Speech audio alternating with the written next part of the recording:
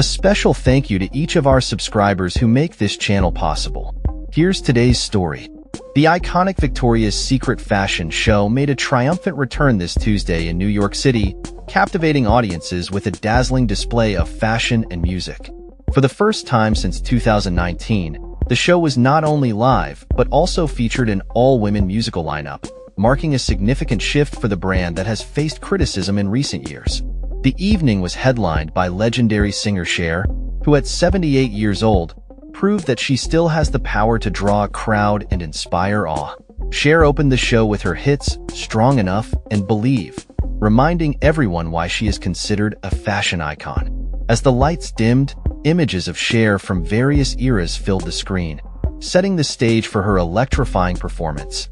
The crowd erupted in cheers, with models like Adriana Lima joining in the excitement by lip-syncing along as they strutted down the runway.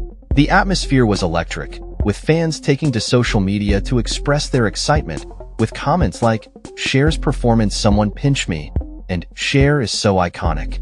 Cher herself displayed humility on the pink carpet, expressing her enthusiasm for the all-female lineup, stating, I really am most excited about all the women, that it's only women and they're great.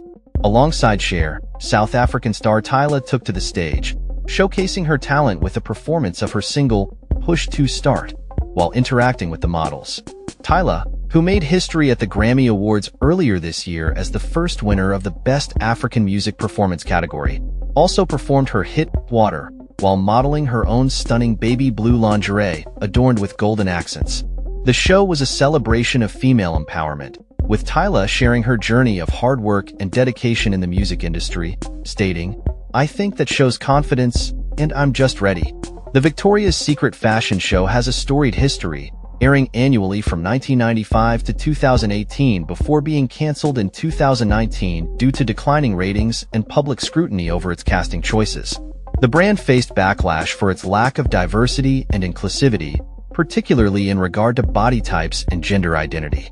However, this year's show aimed to address those concerns, featuring a diverse lineup of models and performers.